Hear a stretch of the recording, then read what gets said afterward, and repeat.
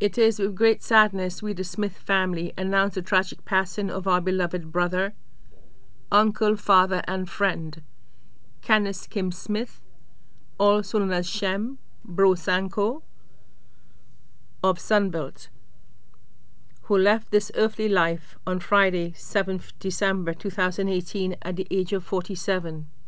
He was a painter by profession.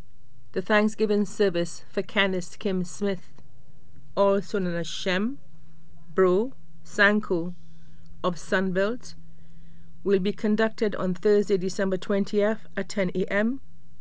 at the Basilica of the Immaculate Conception. His body will be cremated at a date to be announced. The family requests no wreaths or flowers of mourning colors, no black or purple, only cheerful colors.